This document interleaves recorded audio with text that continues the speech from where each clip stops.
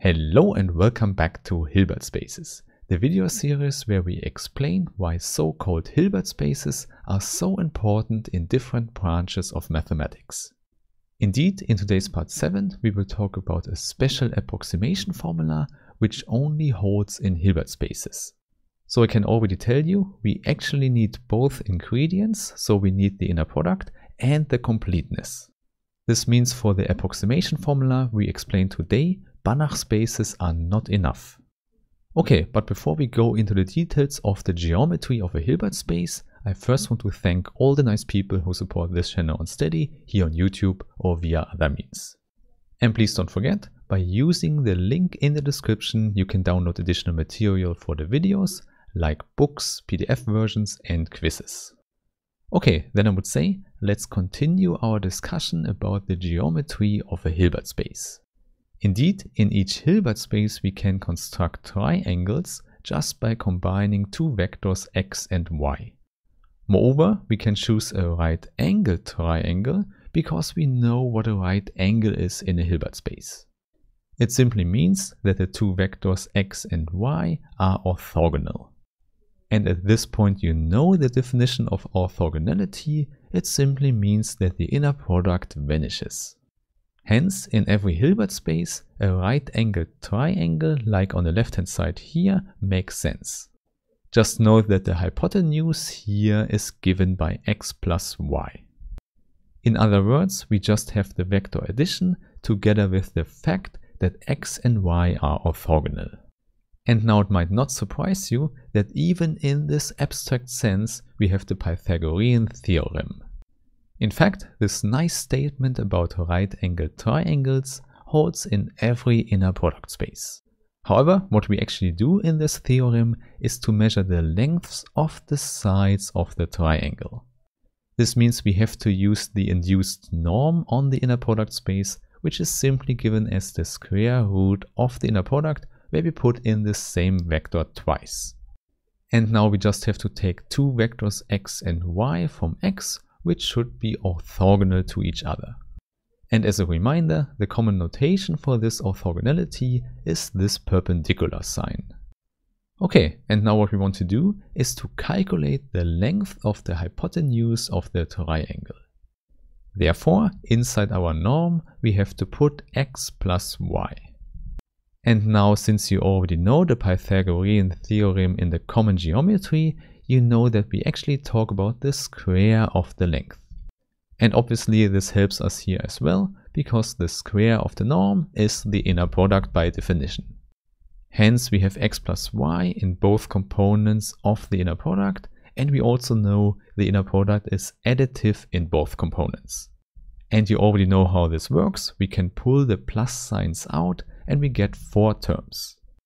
Here is what we get, and you see in the middle we have two mixed terms.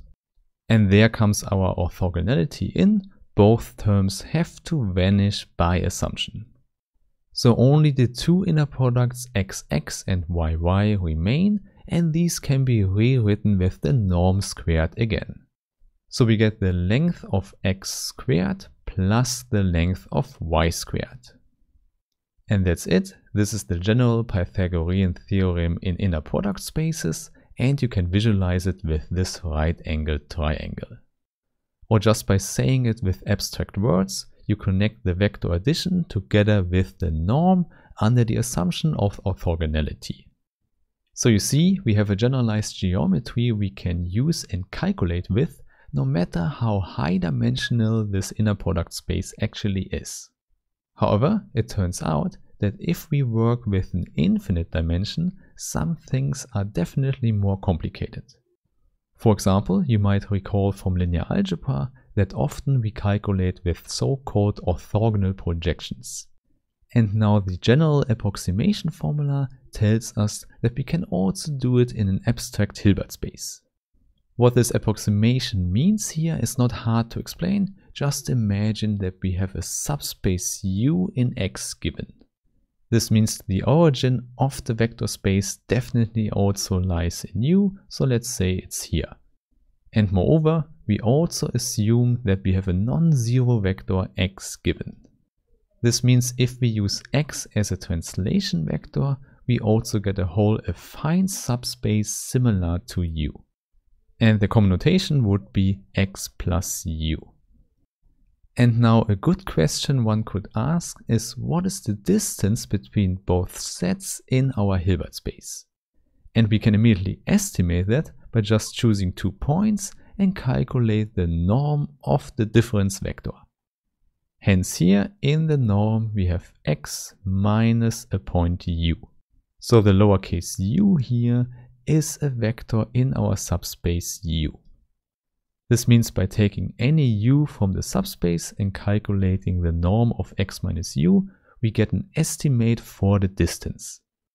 However, now the actual question is, can we find such a u that minimizes this length? And indeed, the picture suggests that this minimizer would give an orthogonal vector to u. However, this is not clear at all because the whole thing here is just a visualization of our abstract problem. And please note the problem is not that we can calculate this distance between x plus u and u.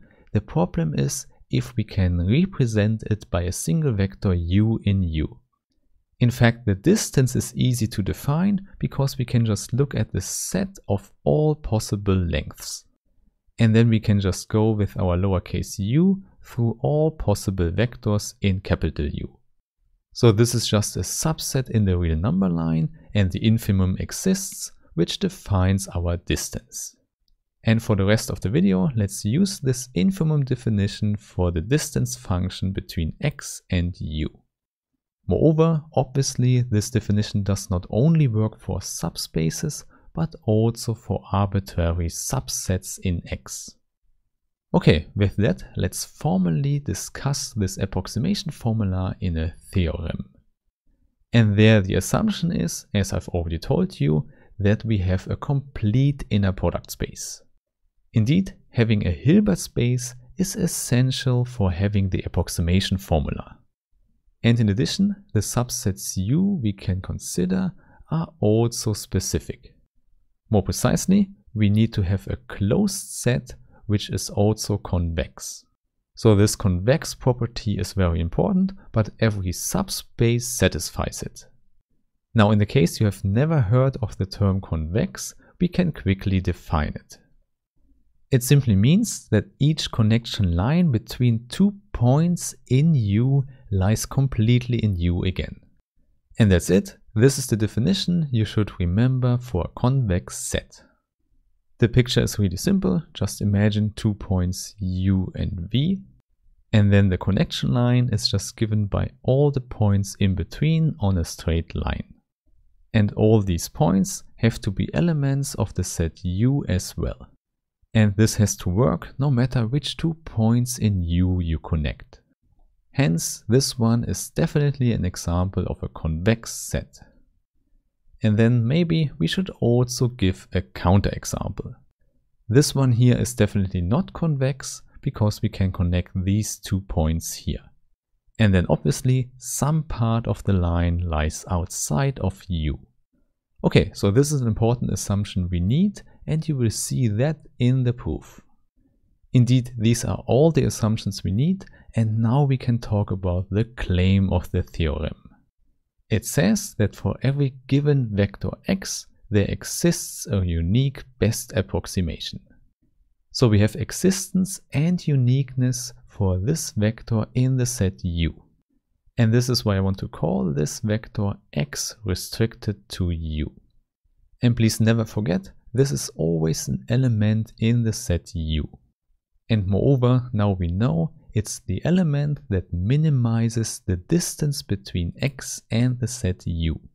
Hence, the length of x minus this best approximation is exactly this infimum which we call the distance between x and u. Indeed, the vector that represents this difference on the left is exactly this straight line in the picture. So this is how you should visualize this best approximation and later we can show that it has something to do with orthogonality. However, first we should prove this existence and uniqueness result. This will be a little bit of work, so let's do it in the next video. So I really hope we meet there again and have a nice day. Bye bye.